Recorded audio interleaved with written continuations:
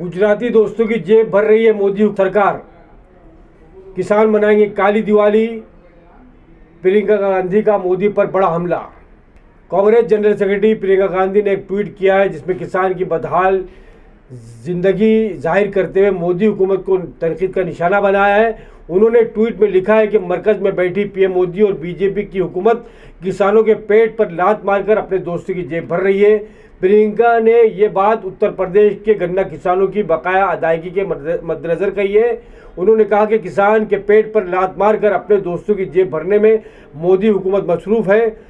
जिस दिन मुल्क का किसान जागेगा, उस दिन से होशियार वो दिन आएगा। इससे पहले भी उन्होंने एक ट्वीट किया था जिसमें लिखा था, पार्लियामेंट से इंडिया गेट तक दिल्ली के सबसे मशहूर, खूबसूरत, तारीखी जगह को खूबसूरत बनाने का एक गुजराती कंपनी को ठेका दे दिया गया। हुकूमत का तखमीना था बारह हज़ार चार सौ पचास करोड़ रुपये और उत्तर प्रदेश के गन्ना किसानों किसानों का बकाया सात हज़ार करोड़ रुपये है। बीजेपी हुकूमत होश खो रही है।